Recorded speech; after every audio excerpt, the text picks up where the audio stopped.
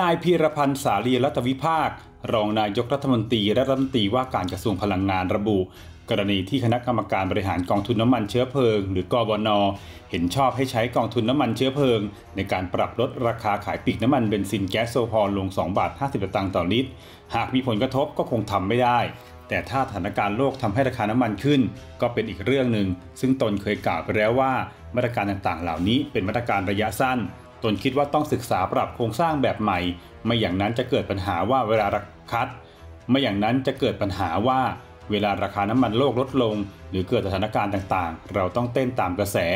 เราควรหาทางทำให้ราคาพลังงานในประเทศนิ่งให้ได้ และทำให้ได้รับผลกระทบจากปัจจัยภายนอกลดลง เพราะฉะนั้นการจะทำตรงนี้ได้ต้องปรับปรุงกฎหมาย และรูปแบบการทำงาน หรือกำหนดวิธีการดูแลระดับราคาน้ำมันให้เป็นรูปแบบใหม่ ไม่ใช่แบบที่เป็นอยู่ในปัจจุบัน ทั้งนี้หากสถานการณ์สู้รบไปต่างประเทศยืดยาว ก็จะมีผลกระทบทั่วโลกในเรื่องของพลังงาน แต่คิดว่าทุกประเทศก็ต้องคิดว่าเมื่อเจอปัญหาแบบนี้จะดูแลและป้องกันตนเองอย่างไร ซึ่งประเทศไทยก็หนีไม่พ้น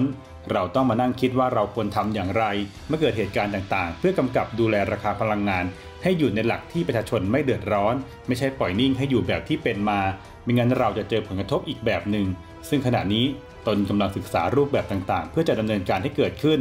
ซึ่งในส่วนแนวทางที่มีอยู่ตนยังพูดไม่ได้ เนื่องจากยังไม่สรุปว่าจะเป็นแบบไหน หากพูดไปก่อนอาจทำให้ข้อมูลสับสน